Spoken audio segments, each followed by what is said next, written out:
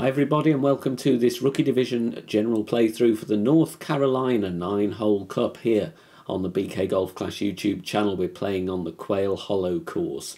Please give me a thumb up and a very warm welcome if you are new here make sure you're subscribed. It is totally free to do so. We're going to have a look at all nine holes that are going to be used, showing you some potential routes. You might need to tweak the adjustments based on the wind directions that you'll face during the tournament, but should give you an idea of how you might want to approach these holes. Let's get started by looking at hole number one. Starting with a par 3, and we have a hole in one here. We're going to be playing with the backbone or whatever long iron you've got in the best level. One bar of backspin, two bars side spin to the left. So we're going to use a quasar. Adding spin, and then I'm looking at the ball guide to be pointing deliberately just right of the cup. That's because the wind is going to push us from the right to the left. So ball guide aiming one cup to the right. Then we adjust medium distance, 15% elevation, mid plus 15 on this one playing with the backbone, as that is, I think, the best general rookie level long iron. But if you don't have the backbone, you may have a slightly lower level club. Uh, the same adjustment should work. In which case, don't look at the ring sizes or the ring placement. Just focus on the second bounce after spin is added. So then you can uh, cater to your club and club level. Drops very nicely for a hole in one. The second hole is the first of the par fours on Quail Hollow.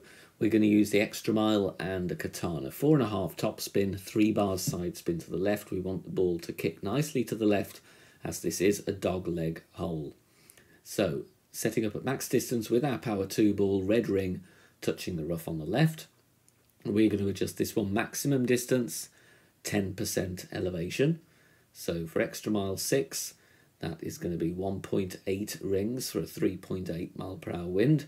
And we're going with some left curl, half a ball of curl outside the adjustment ring to the left. Hitting perfect, and the reason we're going with the top spin and the katana, we want to try and get ourselves fairly close so we can use a short iron on approach to increase our drop rate. It's going to be much easier to get the eagle with a short iron rather than the backbone. Second shot there is max distance club you can aim there, look, before the rough and bounce over if you don't want to play the rough bump.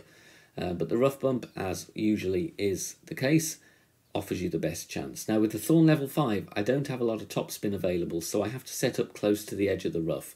If you have a short iron with more topspin, then I would go with that, and then you can have, for example, the top of the yellow ring rather than the inner green ring touching the rough. It gives you a bit more room in case you accidentally overpower your shot or you don't adjust quite as accurately as you need to.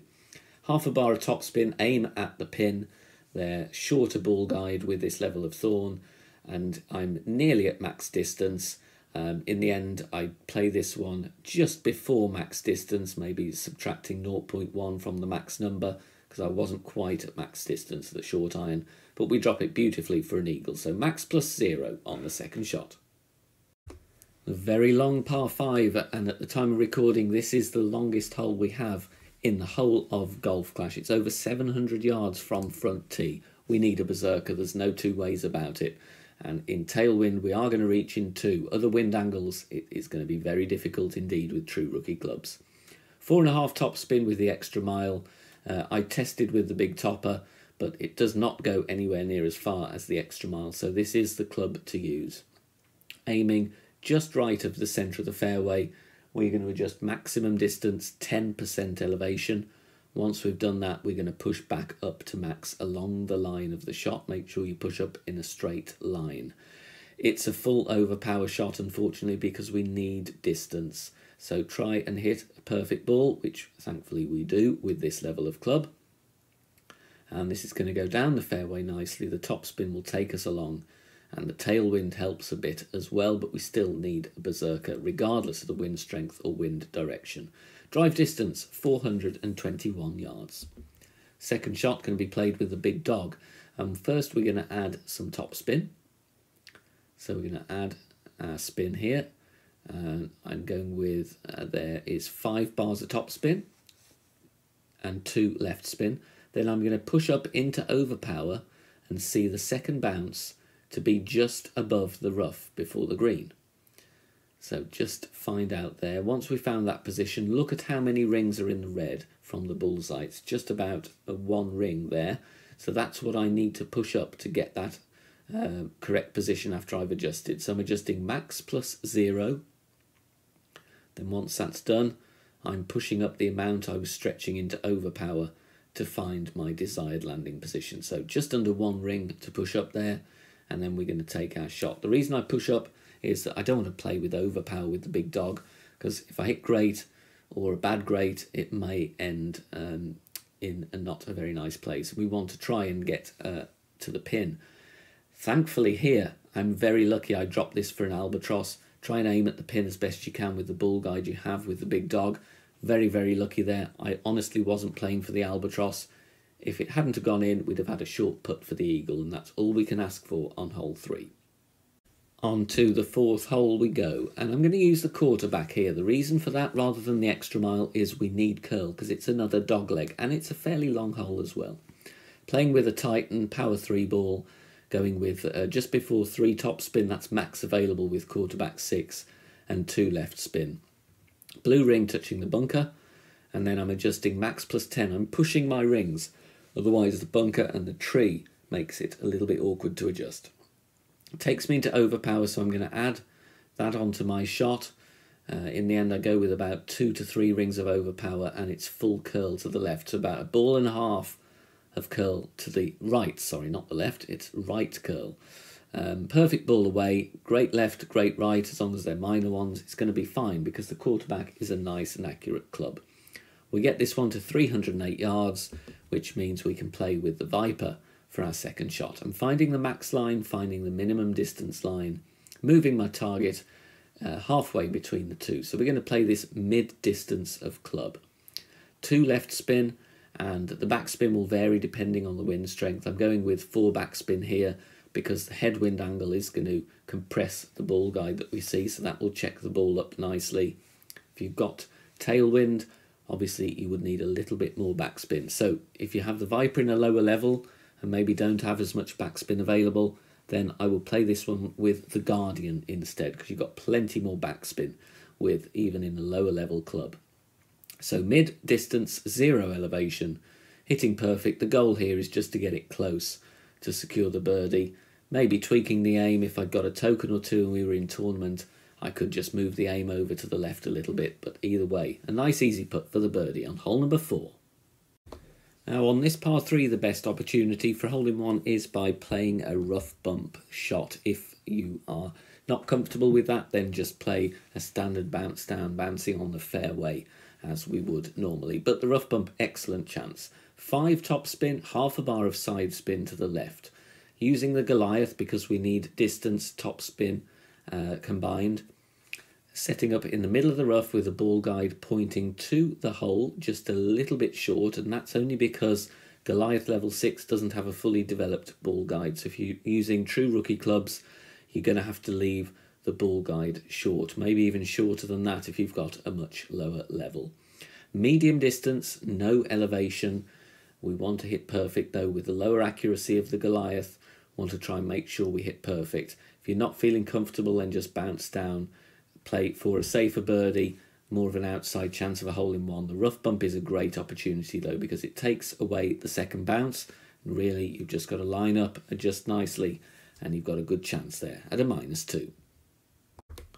On to the sixth hole, which is a par five. Now, I'm once again going to go with the quarterback here because we need the curl. And the extra mile in true rookie club level doesn't have a lot of curl. So Titan it is, two left spin, just under three top spin. White ring touching the rough on the left at max distance with our Titan. Then we're going to adjust max plus 10. Once I've done that, I'm going to spin the target round, looking back at the line of the shot and I'm pulling up to max distance just to gain myself a few more yards. Going with some overpower here, but we're using the quarterback, so a great ball should be fine. A couple of rings of overpower and almost one ball of curl to the left just to get round this dog leg design on this par 5. Perfect ball bounces very nicely. We're not threatening the rough. And then, like I said, a great left, great right with the quarterback. You're going to be absolutely fine. 327 yards. Second shot, I was having a look here to see if I could bounce directly there with backspin and right spin.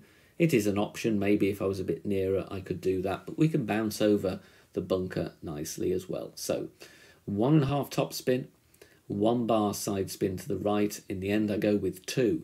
The reason is I want to just cut the bunker away from the equation and the more right spin I have, the less of the rough and the sand I need to bounce over. Aim at the pin as best you can. Because I'm at mid distance of club, I play mid distance, zero elevation. This shot is fairly flat, as with most of the approach shots on Quail Hollow. We haven't got massive downhill elevations to deal with, which is nice. So mid plus zero on this one. Aim at the pin as best you can. We hit perfect. Obviously, if you have the sniper in a low level with some top spin, that would be a good shout as well because you get more ball guide. In the end, just a little bit to the right, the pace a tad short but we're safely on the green for an eagle on this par 5. Hole number 7 coming up here. Again, a little bit of a dogleg, but not as severe. We can use the extra mile and a Titan here very nicely indeed. Four and a half top spin, two side spin to the left um, to follow the contour of the fairway. Half of the red ring inside the rough with the extra mile six at max distance with power three. I adjust maximum distance 10% elevation. Once again, I'm going to push or pull back up to max distance of club to gain as much yardage possible. Outer wall curl to the left, so that's the left edge of the ball touching the left edge of the adjustment ring on the left, of course. And then we're going to hit perfect. And the top spin takes us nicely down the fairway here. Drive distance is going to be 354 yards. Obviously, headwind angle, you might need to go with some overpower. Um, but you're just got to see what wind angles you get during the tournament. Now, I've got enough distance here. The reason I want to go over 350 is because we can then play with the long iron rather than the wood club.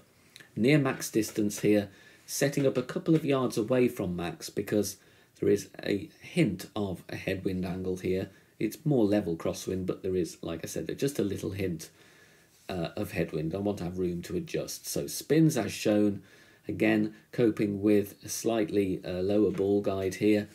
Your ball guide may be different to mine, depends what level your club is. Tricky hole to drop this one, especially in this wind angle, and it's a lengthy par 4 for rookies. But we get a perfect ball away. Let's see how this one comes in. Speed's good, need to just revise the aim on that one, but we're not going to have any problem with that putt. So a nice tactical, safe drive get to the green nicely in two for your birdie with the outside chance of an eagle.